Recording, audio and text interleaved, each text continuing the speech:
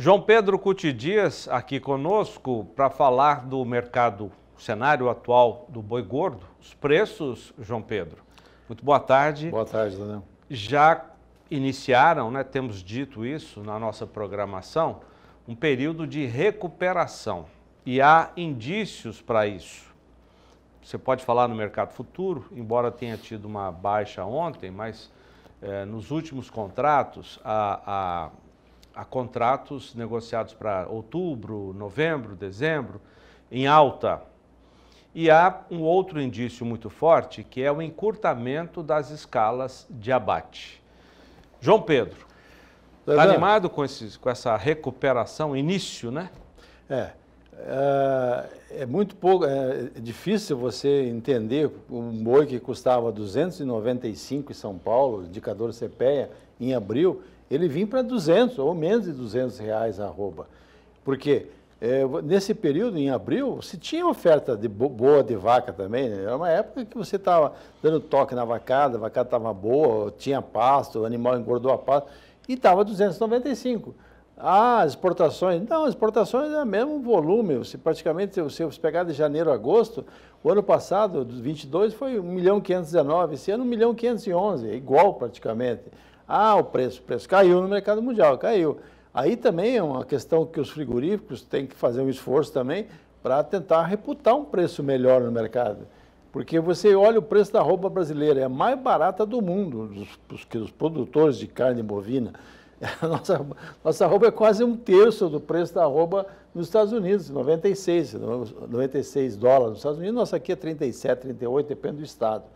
Então você vê esse, e, e, todos esses fatores, é difícil você justificar ah, porque caiu 30% e não caiu 30% na, na gôndola do supermercado. Ele caiu 17, 18, alguns, alguns cortes caíram um pouco mais, outros um pouco menos, mas não foi de, de não tão... É, não é na mesma proporção. Não é na proporção. E, e, e o problema maior, Zé, que você fala, não, oferta e demanda. A oferta, teoricamente, deve diminuir, porque muita gente que ia colocar animal em boitel, boi, uh, pagar diária, ele vê, faz as contas e fala, pô, não dá, não fecha a conta. Mato Grosso, 175, arroba lá, é, do boi, o, com certeza absoluta, pode comprar milha 35, 38 lá no Mato Grosso, comprar DDG, não fecha a conta, é uma arroba que custa próximo, bem mais de 200 reais.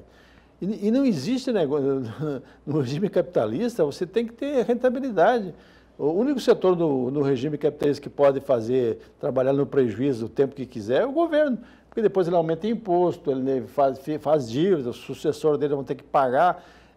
Então, agora, o setor produtivo, a pecuária, é muito difícil. Um fato positivo de toda essa crise, acordou os pecuaristas. Ah, você tem muitas regiões que estão sentando e discutindo como é que, para que rumo vai a pecuária. Como é que eu vou fazer? Eu vou sempre ser um tomador de preço? O cara chegar, ah, eu, tenho, vou te pagar 200, a semana que vem vai ter escala, vai te pagar 190 até quando que o pecuarista vai aceitar que dele, dele receber do frigorífico apenas, ó, o, o, que ele... Que eu, Só posso te pagar tanto. Posso pagar tanto. Então, eu acho que isso está acontecendo agora ah, em várias regiões do Brasil, uma discussão entre os pecuaristas, qual é o caminho que pode ser feito.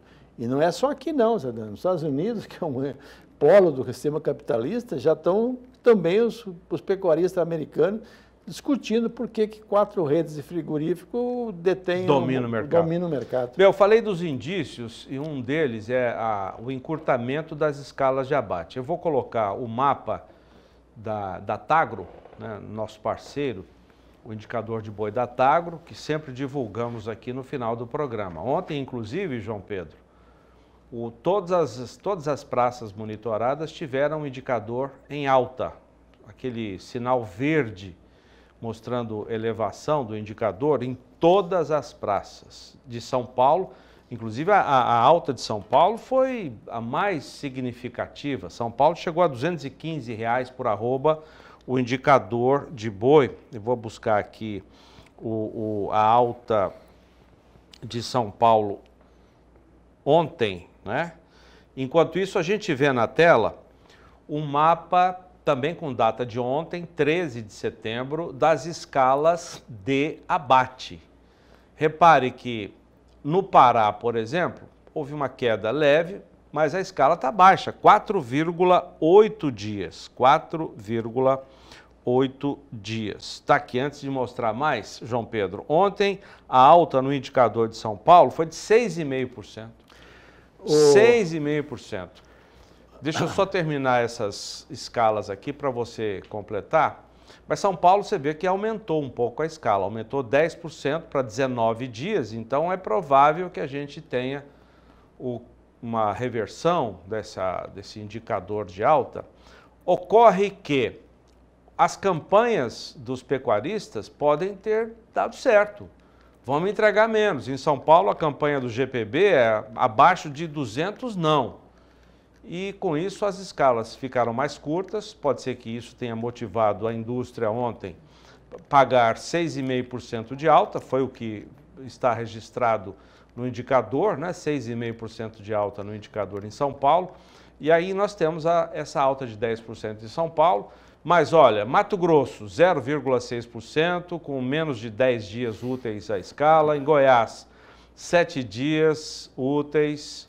Mato Grosso do Sul, 4,7 dias, ainda é curta a escala em Mato Grosso do Sul, por isso que a cotação está, até ontem estava acima da de São Paulo. Ontem, com essa alta de 6,5%, é que São Paulo passou novamente à frente em Mato Grosso, segundo o indicador de boi da Tagro.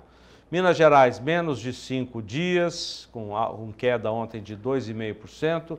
Na Bahia, 6,6%. Quer dizer, Tirando São Paulo, que teve um aumento grande, provavelmente porque houve esse aumento na, na, na, na proposta, né, nas vendas, nós temos escalas confortáveis, João Pedro. Confortáveis não, meio apertadas para a indústria frigorífica. É, o risco que tem é quando o frigorífico levanta um pouco o preço, como levantou, haver uma oferta excessiva ele faz escala e a partir daí ele começa a derrubar mais o preço. de novo. Já aconteceu várias vezes nos últimos dois anos de fazer isso.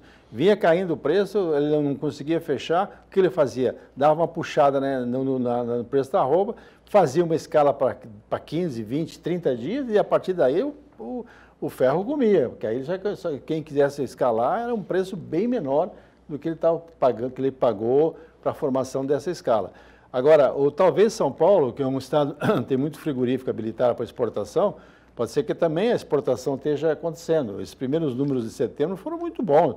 Não sei se a segunda-feira vai repetir-se um número próximo aos 14 mil toneladas, mas se estiver acontecendo isso, vai mostrar que o mercado externo está tá, tá comprando. E o, o, a, questão é, ter, é chegar num um denominador comum que, se, que interesse ao, ao, importador, especialmente ao chinês, que é o grande comprador nosso, e que pague um preço próximo do custo ou um pouquinho acima do custo de produção do pecuarista. Não dá para ficar, a cadeia está totalmente desbalanceada. É, e a Escola de Consultoria traz o seu relatório hoje. Vamos colocar o, a cotação na região sudeste, que teve alta nas duas praças de São Paulo, e eu fico cismado, João Pedro, com esses cinco reais. Quando é queda é cinco reais, quando é alta é cinco reais. A gente precisa entender porque, como é que se tem esse, esse valor. Mas no seu relatório, a Scott Consultoria mostra que os pecuaristas seguraram o gado na, nas duas praças acompanhadas Barretos e Araçatuba. Com isso, as escalas ficaram comprometidas, a indústria veio com propostas. E é o que eu sempre digo, mesmo com essa proposta, resta saber se o pecuarista aceitou entregar seu boi com essa proposta de alta de R$ reais por arroba. Uma coisa é a indústria abrir o mercado com uma proposta, pago 5 a mais, pago 5 a menos, e a outra é saber se o pecuarista entrega o seu gado ou não. Na região sul também teve uma alta e uma baixa. No noroeste do Paraná também tivemos segundo a Scott Consultoria, R$ reais de alta. Olha os R$ reais aí, João Pedro. Padrão, cinco né? Reais, padrão, né? Agora, como que é esse padrão, não sei. E R$ reais é a proposta de baixa no oeste de Santa Catarina. Será que o pecuarista de lá topou vender seu boi com essa proposta negativa? Ou será que o do Paraná topou também vender o seu boi com essa proposta de alta de 5? Olha, pelo que a gente está vendo né, na redução das escalas, aparentemente eles estão, estão comprando da mão para a boca. Quatro dias é um número bastante pequeno, a exceção de São Paulo, que de, talvez São Paulo, em função dessa, dessa puxada que eles deram de quase 15 reais por arroba. Pode ser que lá entusiasmou um pouco mais e tem muito, tem muito confinamento grande no estado de São Paulo que fecha contrato não de um, de, de um caminhão, fecha de 100 caminhões para cima. Né? É. Então pode ser que seja é, por essa razão que São Paulo alongou a escala em função disso, mas pagando um preço pelo menos um pouco, um pouco melhor, né? 5, 6% a mais do que estava pagando. Estava pagando 200, ofereceu 215, e talvez parte desses animais seja animais voltados para o mercado chinês, já tem um ágio, um bônus de 5 a 10 reais por, por arroba, né, Zé? É. Faltou explicar que essas cotações da Scott Consultoria são à vista já tem o desconto dos impostos. Então, é o preço à vista já uh, com o imposto descontado. E não tem uh, as bonificações e nem os pagamentos por lotes especiais. João Pedro, obrigado. Até amanhã. Até amanhã, um bom trabalho. Esperamos que continue, né? Nós estamos na metade do mês, é um bom sinal, porque normalmente a primeira semana dá uma reação. Nós estamos na segunda semana do mês já, ainda em alta, né?